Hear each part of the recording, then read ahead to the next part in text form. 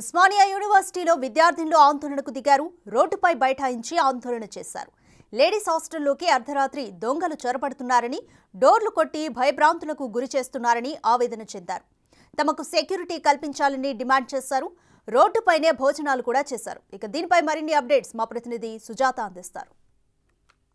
అర్ధరాత్రి మహిళ ఒంటరిగా రోడ్డు మీద తిరిగిన రోజే స్వతంత్రం వచ్చింది అన్నట్లుగా గాంధీ చెప్పారు. అయితే ప్రస్తుతం అదే మహిళలైతే రోడ్డు మీద బైఠాయించి అన్నం తింటున్నటువంటి పరిస్థితి. వాళ్ళకి సేఫ్టీ కావాలి మాకు అని చెప్పేసి అయితే మాత్రం ఉదయం నుంచి ఇక్కడ ఉస్మానియా యూనివర్సిటీ స్టూడెంట్స్ అయితే మాత్రం ఆందోళనకి దిగారు. నిన్న రాత్రి జరిగినటువంటి ఘటన ఏదైతే ఉందో ఉమెన్స్ హాస్టల్లోకి గుర్తు తెలియని వ్యక్తులు ఇద్దరు వచ్చి వాళ్ళ డోర్స్ని అదేవిధంగా వాష్రూమ్ దగ్గర కిటికీలలో గట్టిగా అరవడంతో వాళ్ళైతే మాత్రం భయభ్రాంతులకు గురైనటువంటి పరిస్థితి ఉంది. ఇక్కడ మేము ఈ రోజు లోపల కూర్చొని తినాల్సింది బయట కూర్చుంటున్నాం. ఇది ఎవరి ఎవరి పొర తప్పు వల్ల కూర్చుంటున్నాం అంటే వీసీ వాళ్ళు అధికారులు కానీ పట్టించుకోవట్లేదు. మధ్యాహ్నం నుండి మేము ప్రొటెస్ట్ చేస్తున్నాం.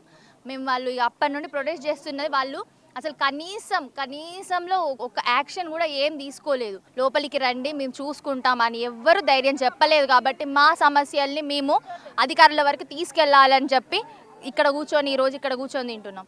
రూమ్లో కూర్చొని చదువుకోవాల్సిన ఆడపిల్లలు బయటికి వచ్చి మధ్యాహ్నం నుండి ప్రొటెస్ట్ చేస్తుంటే ఒక్కరు కూడా పట్టించుకోవట్లేదు. గ్రూప్ వన్ రెండు సార్లు క్వాలిఫై అయిపోయినాము.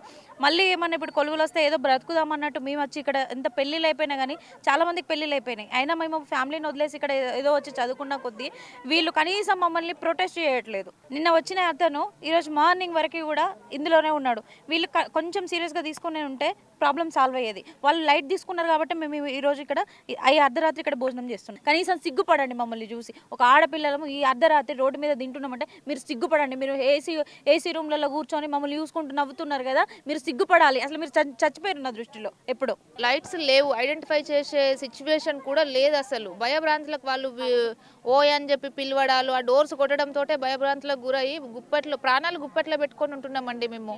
నిన్న నుంచి నిన్న evening four thirty five o'clock నుండి ఇప్పటి వరకు కూడా.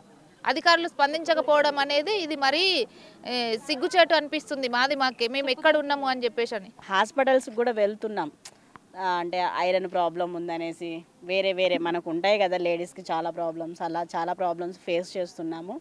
సో ఇది వీసీ గారి దృష్టికి తీసుకెళ్ళాలని చాలాసార్లు ట్రై చేశాము. కాకపోతే ఇది ఒక మంచి అవకాశంగా భావిస్తున్నాను. ఎందుకంటే పిహెచ్డి అక్క వాళ్ళు అన్నయ్య వాళ్ళు ఇక్కడ చేయడము సో ఇప్పుడు తెలిసింది అందుకనే వచ్చాను. నేను కూడా వీళ్ళకి అంటే అక్క వాళ్ళకి సపోర్ట్ చేయడం కాదు. ఇక్కడ మా డిమాండ్స్ని కూడా తెలియజేయడం కోసము ఇది ఒక మంచి అవకాశంగా భావిస్తున్నాను. దయచేసి మా పరిస్థితులను అర్థం చేసుకొని ఓవీసీ కానీ వాళ్ళు కానీ రెస్పాండ్ అవుతే బాగుంటుందని నా ఉద్దేశం. చూస్తున్నాం కదా వెంటనే వాళ్ళకి అయితే మాత్రము రక్షణ కల్పించాలి. మాకు రక్షణ కల్పించడంలో ఇప్పటి వరకు వీళ్ళంతా ఫెయిల్యూర్ అయ్యారు అని చెప్పేసి అధికారులు వెంటనే స్పందిస్తే మేమైతే మాత్రం ఇక్కడ నుంచి వెళ్ళిపోతాము. లేదు అంటే ఎంతసేపు అయినా సరే ఇదే విధంగా ఎన్ని రోజులైనా సరే నిరసన తెలపడానికి సిద్ధంగా ఉన్నాము అని చెప్పేసి ఇక్కడ ఉన్నటువంటి స్టూడెంట్స్ చెప్పడం జరుగుతుంది. దాంతోపాటు హయ్యర్ ఎడ్యుకేషన్ పిహెచ్డి చేసే వాళ్ళకే ఇలాంటి పరిస్థితులు ఎదురయ్యి అధికారులు స్పందించకపోతే ఇక జూనియర్స్ పరిస్థితి ఏంటి? అటు ఫుడ్ విషయంలో కాంప్రమైజ్ ఉన్నప్పటికీ మాకు హెల్త్ ఇష్యూస్ వస్తున్నా కూడా ఎవరూ పట్టించుకోవడం లేదు. కనీసం రక్షణ కల్పించాలి మేము చదువుకొని బయటికి వెళ్ళి మంచి స్థాయిలో నిలబడాలి అంటే మాకు ఎడ్యుకేషన్తో పాటు రక్షణ కూడా అవసరం అని చెప్పేసి విద్యార్థులు చెప్తున్నటువంటి పరిస్థితి ఇక్కడ ఉంది. కెమెరామెన్ వేణుతో సుజాత ఉస్మానియా యూనివర్సిటీ.